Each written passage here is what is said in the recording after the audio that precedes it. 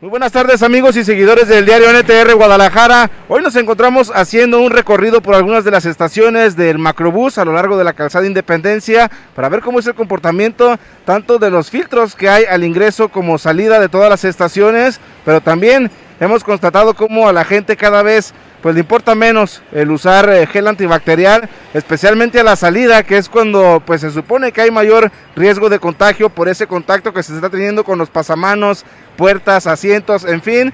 Y la verdad es que es triste lo que hemos encontrado. Hemos hecho un conteo en donde una persona de cada 20 en promedio está utilizando el gel antibacterial a la salida de este medio de transporte.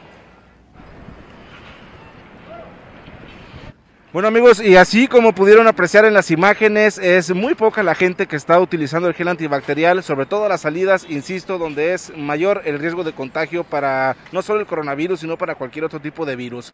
Eh, también hay que señalar que en muchos de los ingresos de las estaciones no se está obligando a la gente, no se les está invitando al uso de cubrebocas, siendo que es un accesorio obligatorio, decretado así por las autoridades tanto estatales como federales.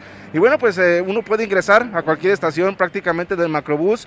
Puede traer incluso el cubrebocas en el cuello, sin cubrir eh, nariz o boca, o simplemente no traerlo y eso no implica o no impide que usted no pueda abordar las unidades como lo hemos corroborado en este recorrido.